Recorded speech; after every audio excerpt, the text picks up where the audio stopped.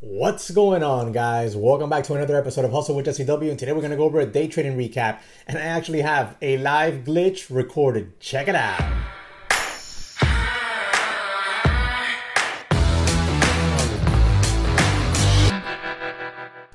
All right, guys, so we're going to go ahead and jump into this day here. Um, let's see here. SPCB uh, is a stock that right now PCB is it's been halted a lot. These halts are killing the moves on these penny stocks. They really are. They're just being so so difficult. Uh, it kills the momentum tremendously.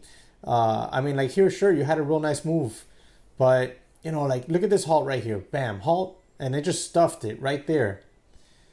And on the daily, on the daily, let's see here. I mean, honestly, on the daily, it had a little room over two bucks. Had it popped over two bucks, we had some room. We had some room to about two fifty, so had some room. But these halts just they're they're they're momentum killers. They're really momentum killers. Uh, so you had SPCB there. Uh, then you have Tops, Tops, which made a real big move. Look at this tops, man, from 20 something cents. Golly, all the way up here to 50 something. If you would have been in a swing trade on this thing from from a couple days ago, golly, look at that move. That's a monstrous move. I mean, you would think, oh, but it's just 50 cent stock. Yeah, but if you were like, hey, you know what? This thing's based out here at 8 cents and jumped in here for a swing trade, you know? Look at that. Bang, you would have woken up to some bank. Um, makes you think, huh? Things that make you say, huh? But uh, I didn't trade any of those. I really didn't trade any of those today. Um, I traded uh, Boeing. I traded Boeing and I had a pretty good trade on this. I had a really. Why is this not. Okay. So I had a really good trade on this. I took two trades on it. Okay. I took two trades on it.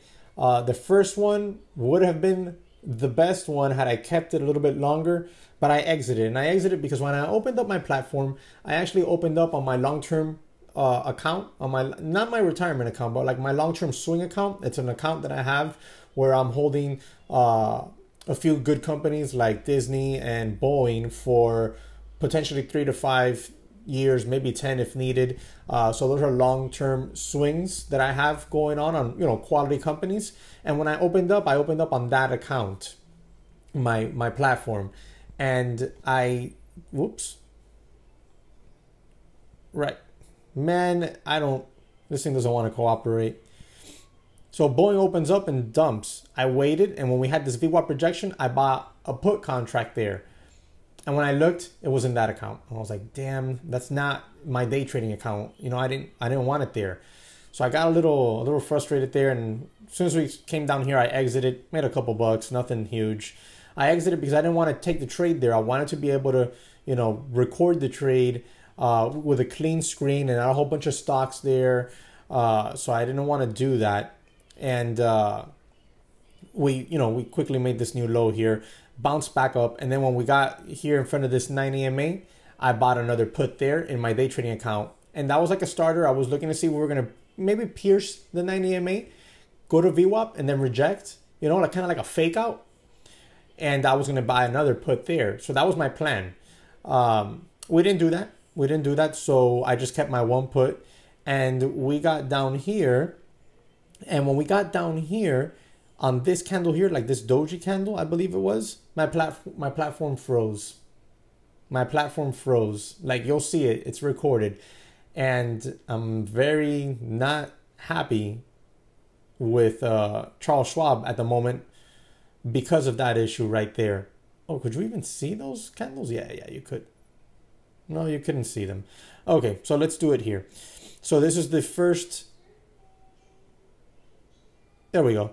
This is the first tra trade right here. And then this is the second trade right here in front of this 9 MA. I was looking for it to pierce it, go to VWAP, reject, and then I would add a second contract. It didn't do that, so I just kept my first, okay? And then on this candle right here, my platform froze, all right? And it, I'm really not happy. So let's go ahead and bring up the recording. Let's see, it should be this one if I'm not mistaken. Oh no. I don't think it's this one. And I have no trade on AIM. Oh, I know why I recorded that one.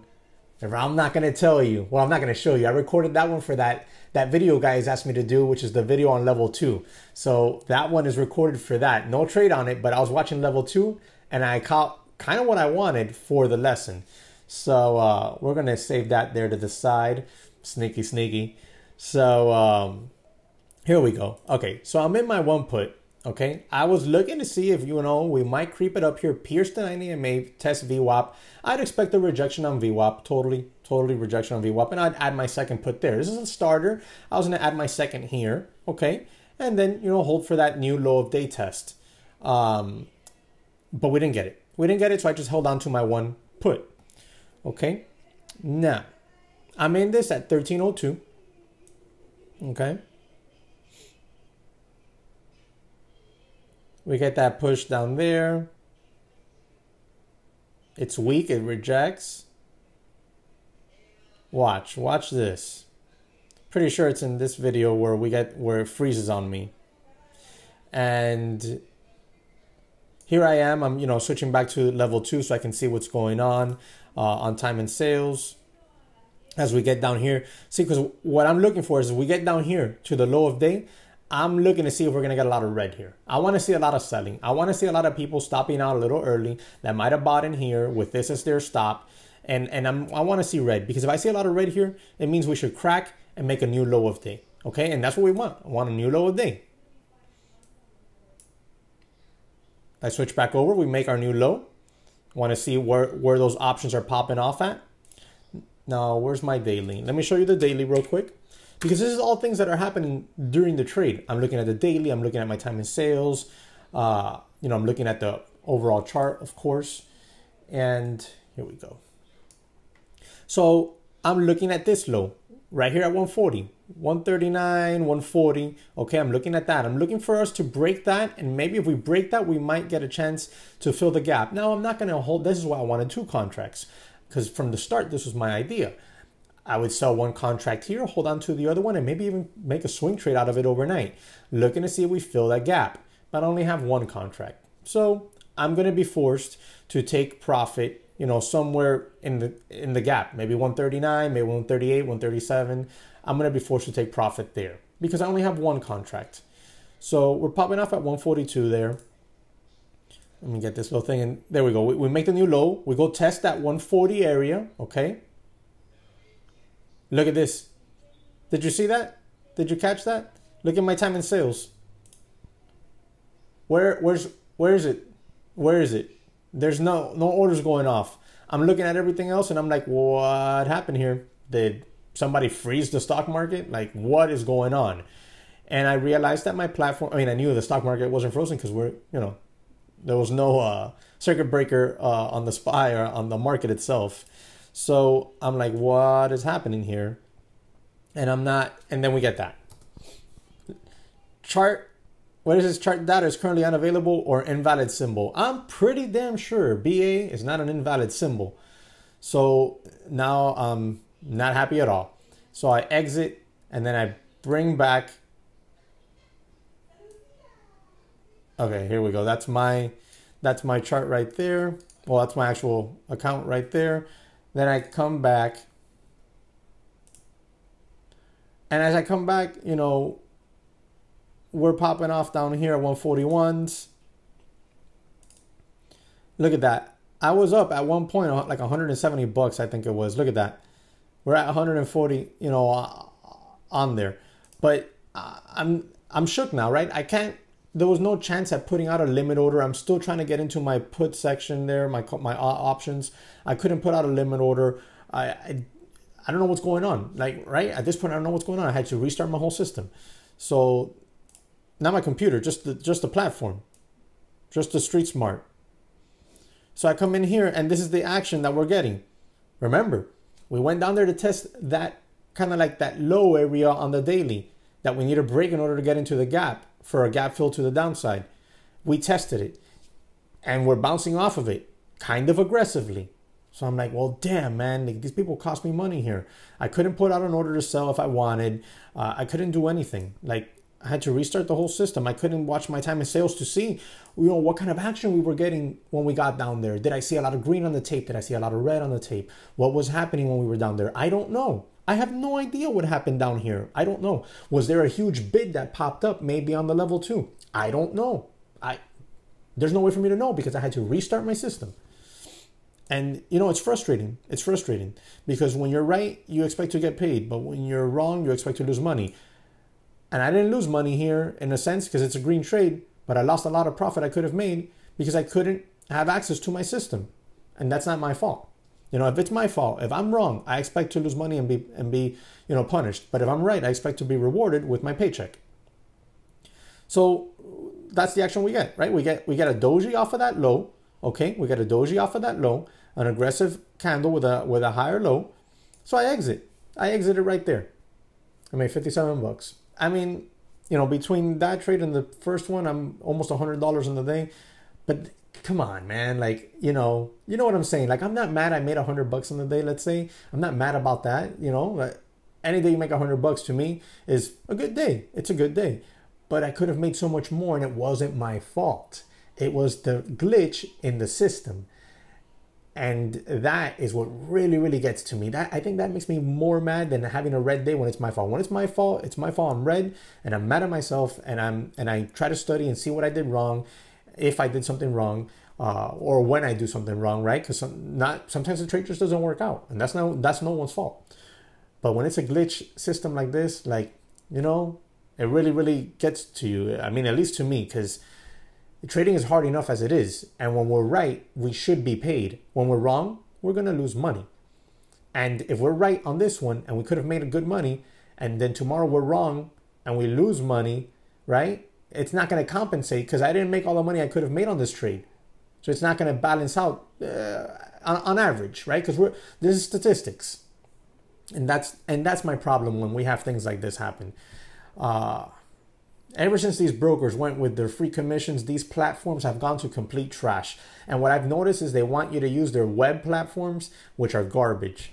Uh, that's it, guys. I mean, the, the trades were clean, as you see. Um, let me see here. Can I get to my... Is this my regular? I don't even... Okay, so yeah, this is my platform. Um, as you see, we bounced off of that low rejected 9 EMA, came back to test it, kind of double bottomed, I guess you'd want to say, came up to VWAP tested, and now we're just trading in this range here. I expect BA to probably gap down tomorrow. Um, will I swing on a put? Maybe. Let's see how the day goes. I don't, you know, I'm gonna keep an eye on it. Maybe I'll swing a put or not.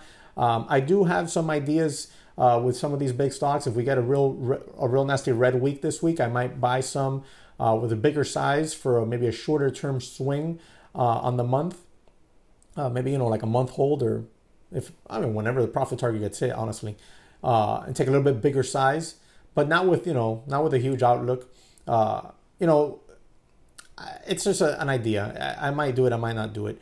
Uh, regardless, I'll continue, you know, putting out the videos and trading. Uh, no futures trades today so far for me. Uh, SPY um, actually had a pretty nice uh, morning here, as you can see we're up here testing these 260 areas, 258 and stuff. So keep an eye on the market. I I think it should go red mid to late in the week. Um, but we'll see. We'll keep an eye on that and see what it wants to do. Let me show you the the daily. Here's the daily. Here's our low.